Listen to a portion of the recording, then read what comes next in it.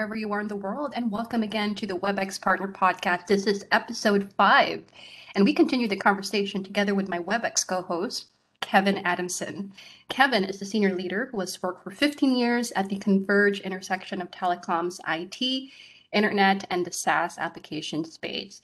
Kevin previously worked for Tropo before it was acquired by Cisco in 2015, following which he has spent seven years at Cisco and is currently leading the WebEx Ecosystem Partner Program.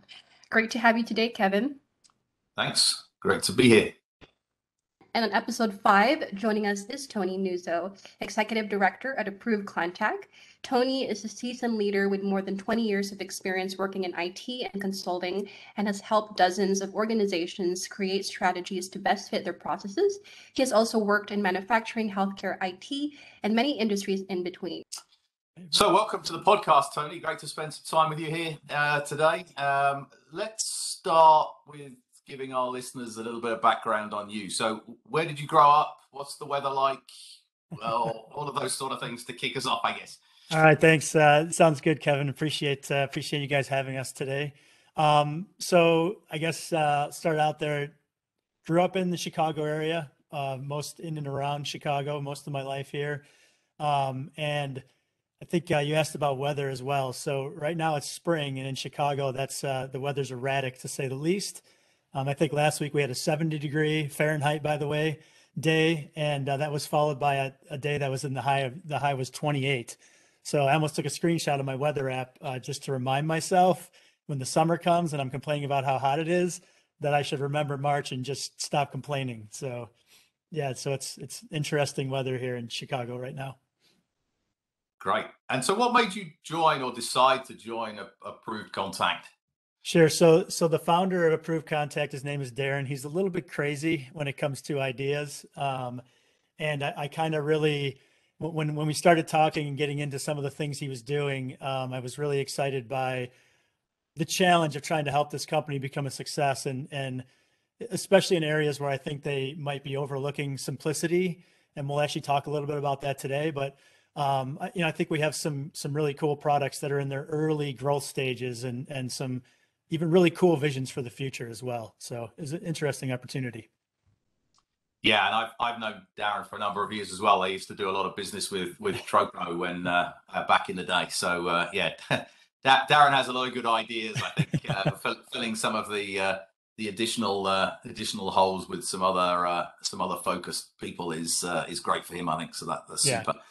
So uh, okay, so that's that's work life. What about outside work? What do you do for what do you do for fun and relaxation? Sure. Um, up until the last year or so, I, I played a lot of volleyball. Um, some leagues more competitive than others. You know, occasionally a beer in hand, um, and then other times uh, uh, very quite competitive leagues as well. Um, I also have two kids, one in college and one that's a senior in high school. So, um, and we we enjoy spending a lot of time uh, around them and following them to sporting activities and, and just kind of watching them grow up. So um, I'm not sure that they enjoy us being as active participants in their life as much as we do, but uh, but but yeah, we do a lot of we spend a lot of time with that. Um, we also do a lot of hiking. Um, in fact, a lot of things around here are kind of flat, so hiking might be a stretch of a word to use for that. Um, but we do find find a lot of fun places to take our our 15 year old. She's about to be 15 year old dog um, she's a mutt. Her name is Scout, and uh, we do a lot of walking with her, so it's it's a lot of fun. I think that's how she made it to 15, actually. uh, I was going to say hiking in Chicago. From what I remember of Chicago, that's a yeah. yeah, that's an interesting feat. But no, great, yeah. absolutely, uh, yeah, that's uh, that, that's great. Just being able to find the time to do some of the relaxation stuff as well, I think is in, is important. yeah, well.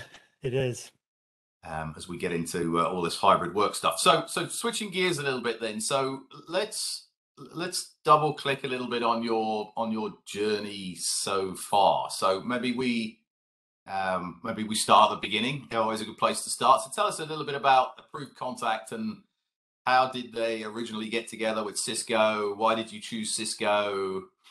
Sure. So so Approved Contact kind of started started out as this concept, this idea of trying to essentially help people be more um, more efficient, and gain more efficient access to their contacts. And our goal was really to allow contacts that you want to communicate with just have an easier time communicating with you, right? So in the world, there's a lot of places where that's very difficult and and getting a hold of people or scheduling time with people can be very tricky. Um, and we had heard that you know from Cisco's customer base that getting teams together, finding the best time for meetings and stuff like that, in a simple way, anyways, was very difficult at best. And especially like as you mentioned, you know when when things are becoming more and more hybrid, um, we knew that the Cisco customer base is is one that wants to do things in a much better way and so, you know, they're also, you know, kind of not afraid to test the waters, right? So we started out by integrating calendars across sites, which, which, you know, disparate calendars across sites that allow you to see each other's availability, even outside of, you know, even outside the organization. So a lot of companies obviously can can talk internally, but stepping outside of that is a big deal uh, for a lot of a lot of places. Um, and our patented technology allows quick discovery of free busy times across those disparate calendar systems so it was really nice to, to use that as the starting point.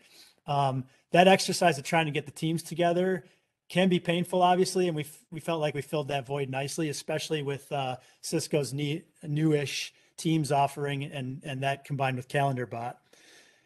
Naturally, though, as as we started getting those other requests for improvements and things like that to that, um, especially in the mobile world, we got first and foremost to this concept of texting being important and companies just want again better access to their customers and clients via mobile uh, which is where our new uh, newest offering of texting for business comes in that, that we'll spend a little bit of time talking about today.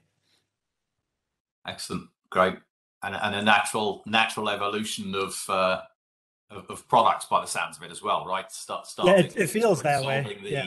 the age old calendar problem but uh, yeah now now we're getting more back to the 21st century technology as well so. Yeah. Um, so that's great. Okay, cool. Uh, so we've seen uh, a lot of companies uh, struggle or at least find challenges during the, the, the, pandemic, and and a few have been able to shine. Uh, how would you characterize approved contacts experience during the last eighteen months or so? Sure, sure. Um, so, like most organizations, you know, it's been a tough time and an exciting time for us. Um, our calendar products already made scheduling easier, so so that happened that just happened to to be ready at a time when people were you know not as face to face as much as they needed to be.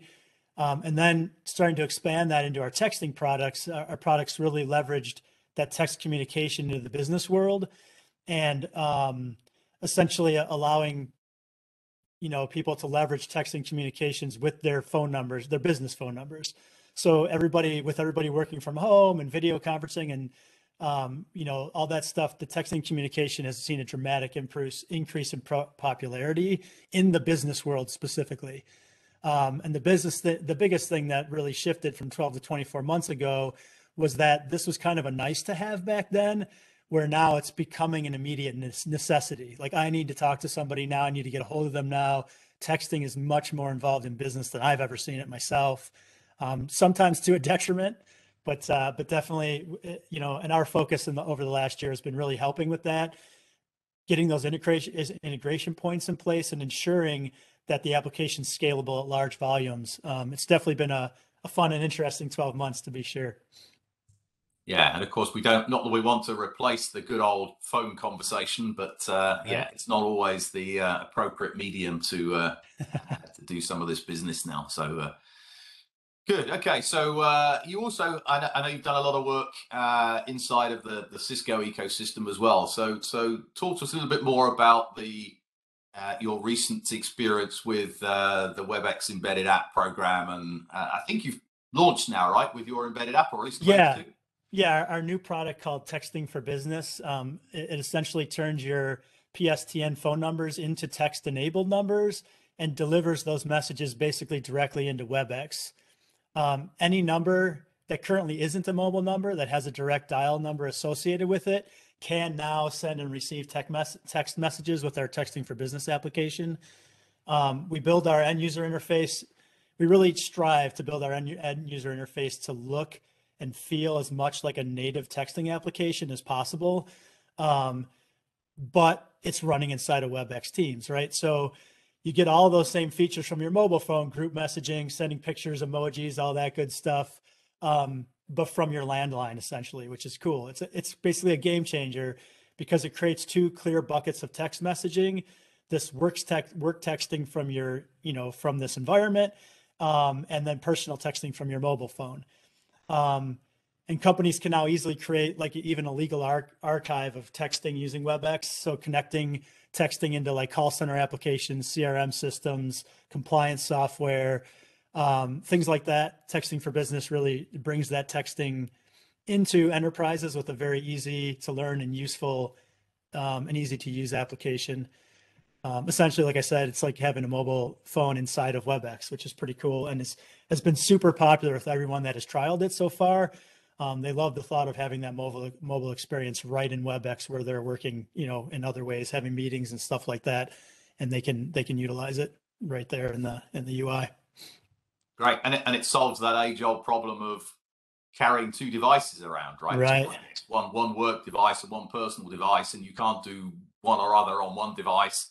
Um, this way, everybody benefits from yeah from having their specific delineated bit on the one device, which I guess is a a benefit and potentially a saving for some of these enterprises who pay, um, you know, pay for company enabled phones and things like that just to solve this problem effectively. Yeah, I feel you like you're like setting me up there or something for.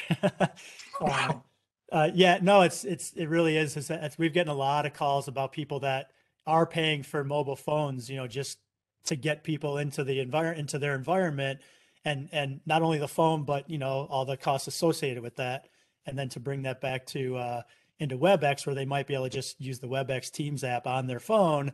Um, and and we have a lot, several trials going on right now that are for that purpose specifically. So it's it's pretty exciting.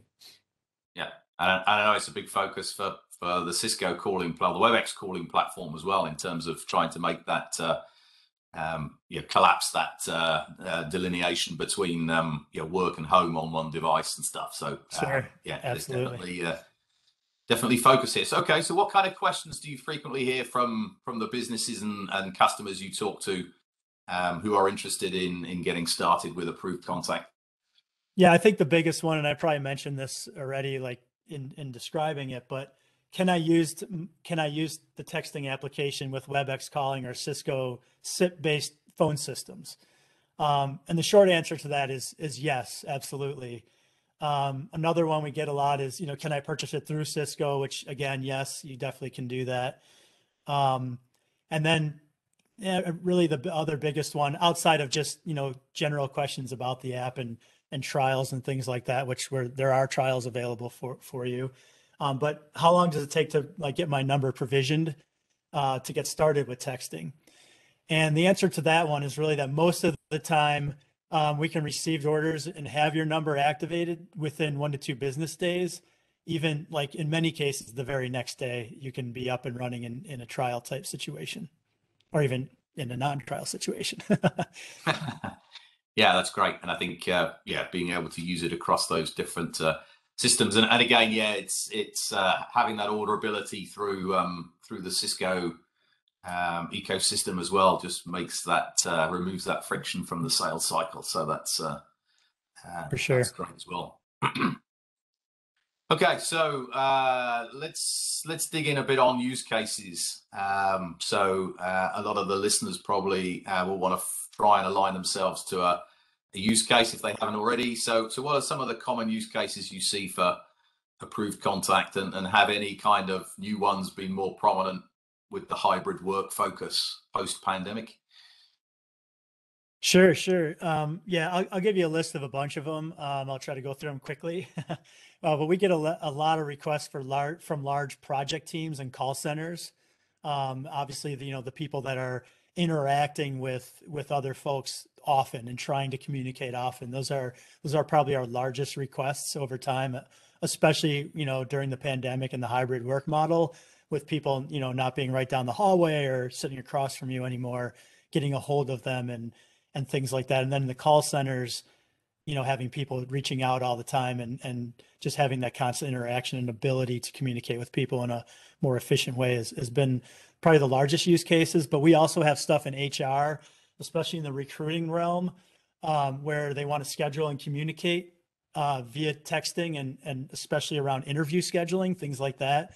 Um, curbside delivery has been a thing which we've been getting a lot of questions about. So uh, where requests come in to a team in WebEx, and then anyone of a number of users can respond to that text. So as opposed to having it on a single phone somewhere, and you hopefully nobody's carrying it around or whatever, you know, when it's in WebEx, you can just have that on a screen, you know, in, in some part of the office or in some part of a distribution center is kind of what we've got. We've talked to a few, and, and it works that way there.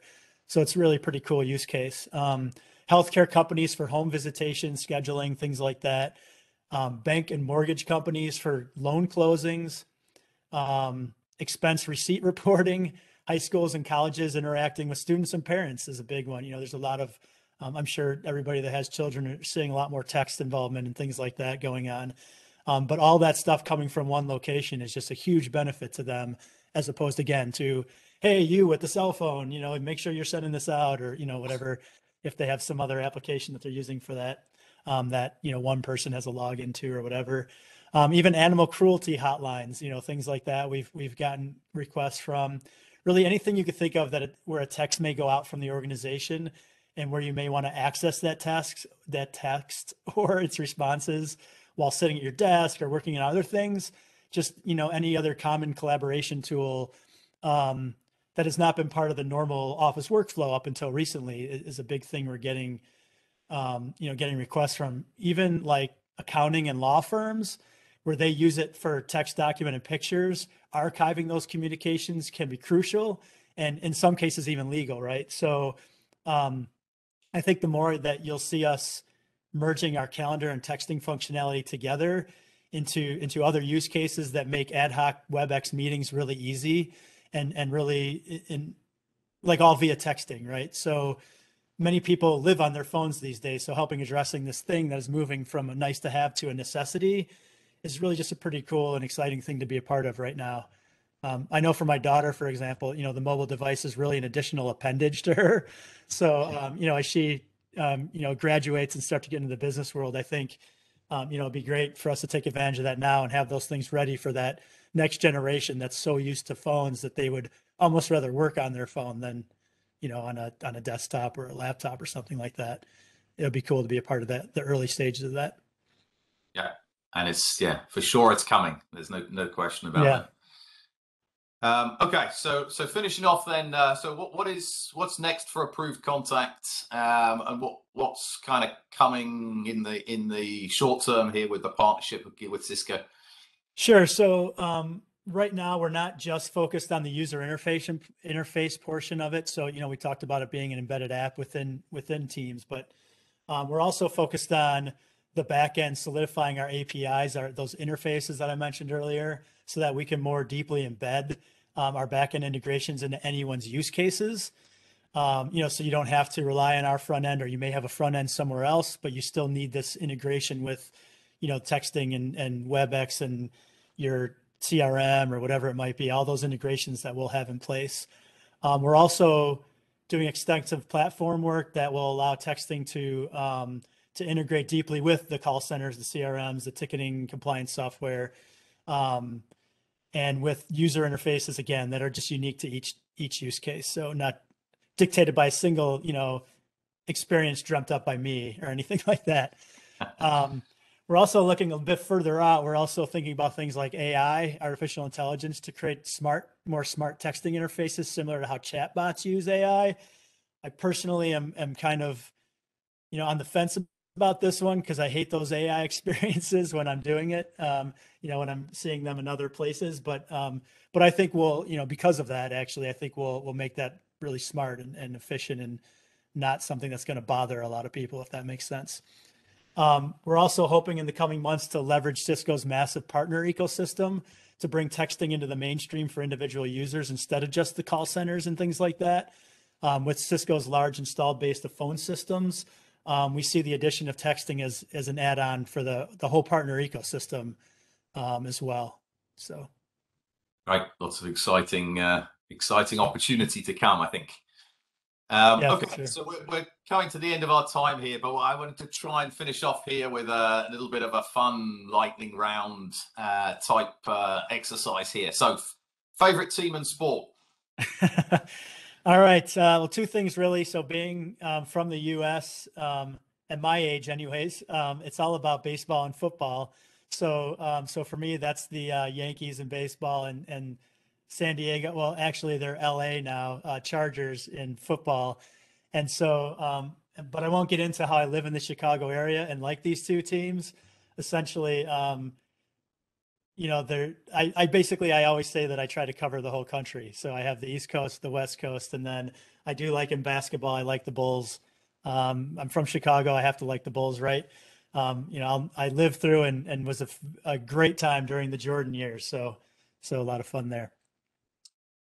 Fabulous. Okay, so uh, deep dish pizza or New York pizza?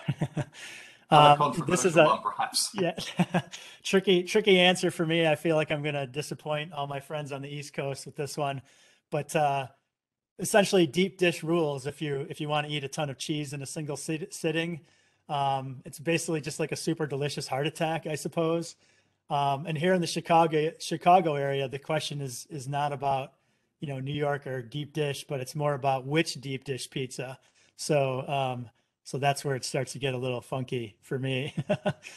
um, yeah. So good. Favorite city, U.S. or otherwise? Yeah, there you go. Um, this is a pretty tough question. There's been many cities that I've been in and, and had a ton of fun in.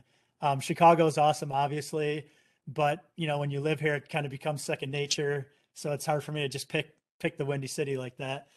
Um, but one interesting thing, I spent several weeks in France working with a company there. Um, and I got to say that Angers in France, I, I, think that's how you say it. It's been a few years now.